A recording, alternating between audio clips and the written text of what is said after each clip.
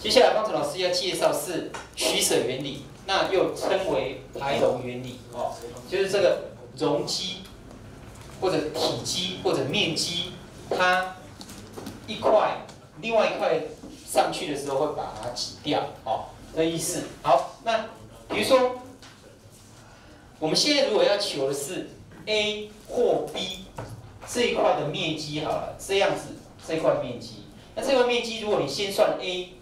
再加 b 的时候，你会发现中间这一块你是重复多算了一次，所以你就把它减掉就好，所以就扣掉 a 跟 b 的交集的部分，那就可以了。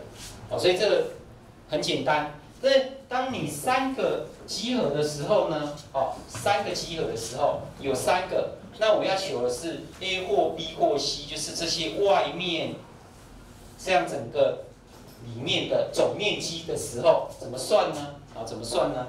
必须要这三个也是一样，先把三个加起来。好，你把 A 加 B 加 C 加起来以后，你就会发现 A 跟 B 会有这一块重复，所以把它扣掉，扣掉 A 写 B。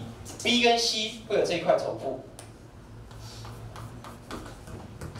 好，也把它扣掉。那 A 跟 C 也有这一块重复，好，也把它扣掉。那有一个问题就是说。那中间这个部分，应该我应该要算一次嘛？我算这全部的面积，中间这一块我要算一次，算一次的面积。但是到底有没有刚好是一次？我这样加加加，好，A 的时候这一块加了一次哦，B 的时候又加一次哦，C 的时候又加一次，是不是加了三次？我应该留一次就好。现在加了三次，那我扣 A 且 B 的时候，是不是扣掉一次？再扣 B 且 C 的时候？又扣掉一次，扣 A 且 C 的时候又扣掉，哎，本来有三次，现在扣了三次，全部变没有了，变没有，可是我应该要算一次嘛，所以我要加一次回来，哦，要加一次回来，所以你这个如果三个的时候，它的求法就是 A 加 B 加 C 再扣掉 A 且 B 的，B 且 C 的，C 且 A 的，再加回来 A 且 B 且 C 的，这样有没有问题？